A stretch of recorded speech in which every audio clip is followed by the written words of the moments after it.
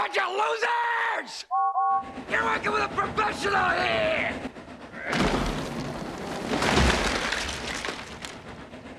Nice fucking model!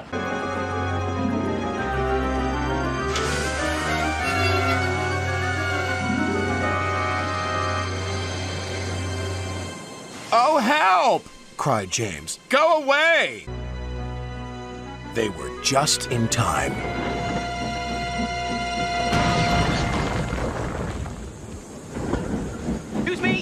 Excuse me? We are leaving now. Thank you for rescuing me.